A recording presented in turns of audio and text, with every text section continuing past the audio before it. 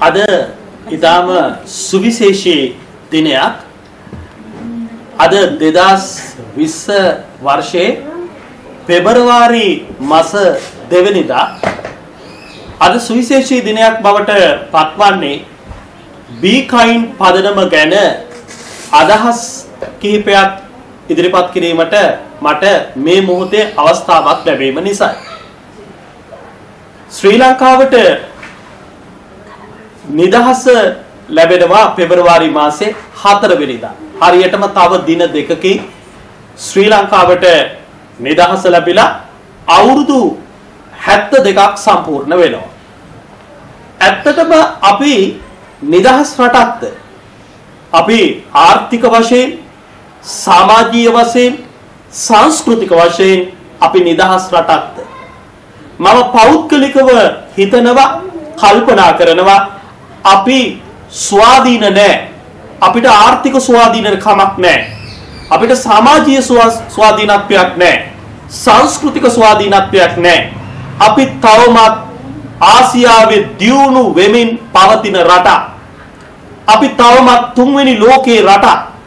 මෙවැනි ඛේදවාචකයක තමයි ශ්‍රී ලංකාව සිටින්නේ. විවිධ නිර්ණායකයන් විවිධ දර්ශකයන් කවුරු මොන ආයතන ඉදිරිපත් කළත් ශ්‍රී ලංකාව දියුණු වෙමින් පවතින රටක් හැටියට සලකන්නට පුළුවන්.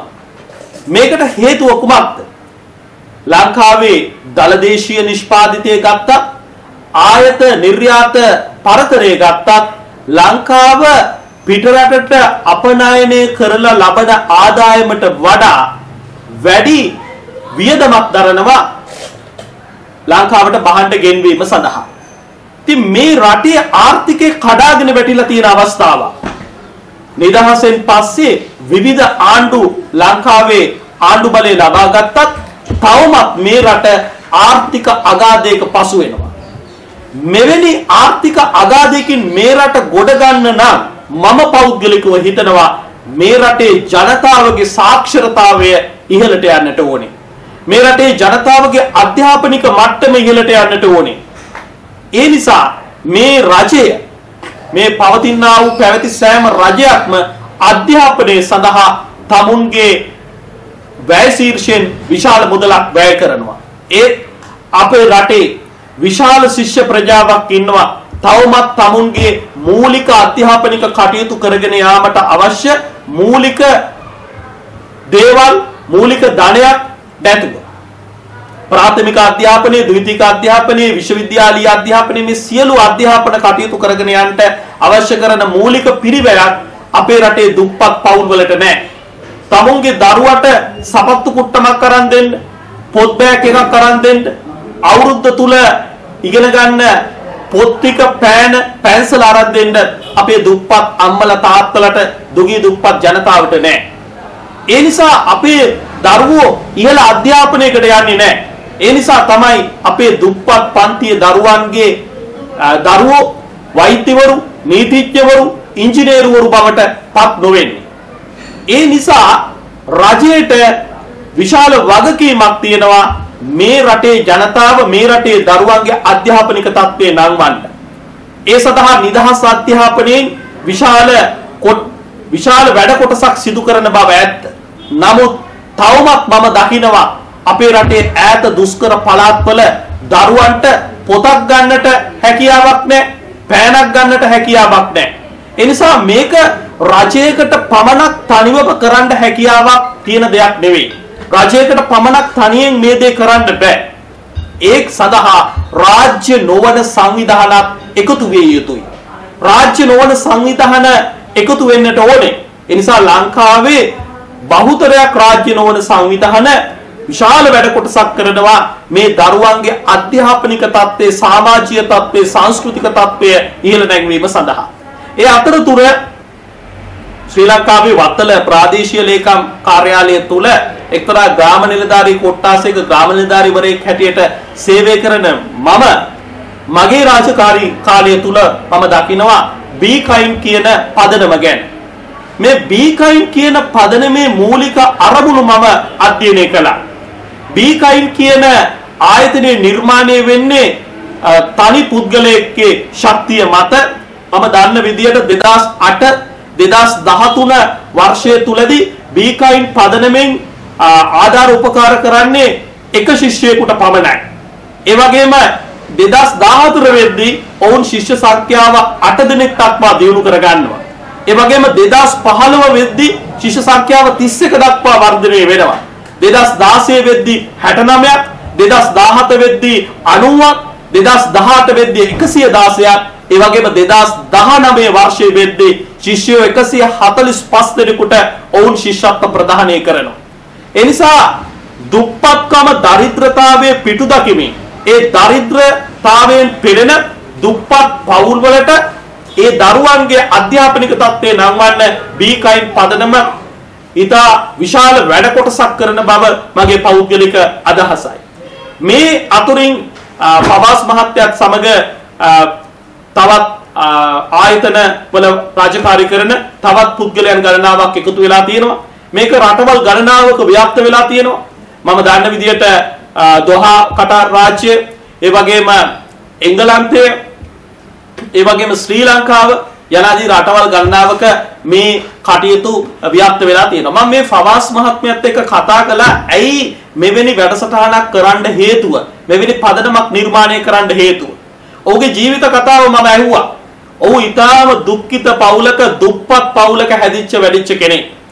සමහර වෙලාවට ඔහුගේ ජීවිතේ එක තැනකදී බොහොම කුසට ආහාරයක් නැතුව බඩගින්න හිටපු අවස්ථාවල් තියෙනවා.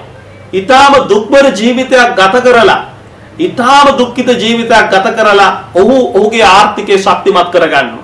ඔහුට ඔහුගේ ආර්ථිකය ශක්තිමත් කරගෙන ඔහුගේ ජීවිතය ගත කරන අතරතුර ඔහුට ඇති වෙනවා ත්‍යාගශීලී සිත.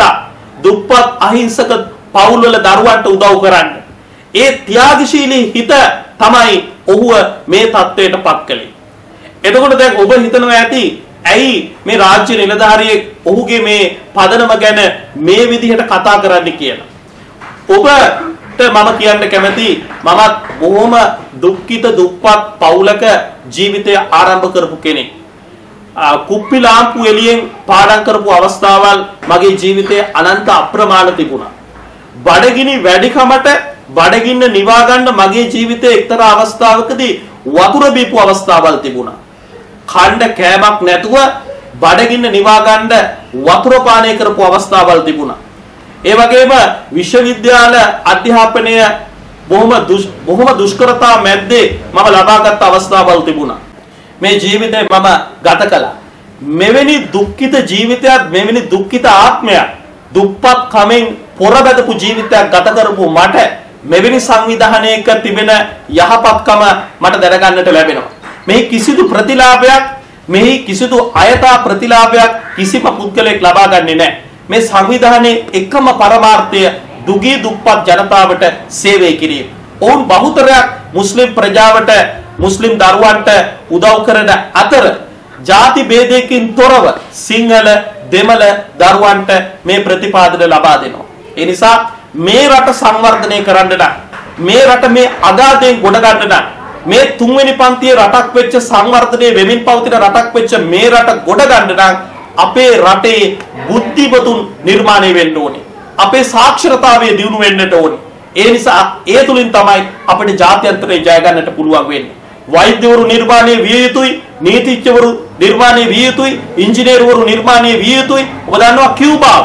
කියුබාව වෙනි රටක් සංවර්ධනය වුණේ අධ්‍යාපනය සංවර්ධනය කිරීම තුලින්. ඒ නිසා අද ගොඩක් නූගත් දරිද්‍රතාවෙන් පෙළෙන පවුල්වල දෙමව්පියෝ දන්නේ නැහැ බහුතරයක් අධ්‍යාපනයේ වටිනාකම්.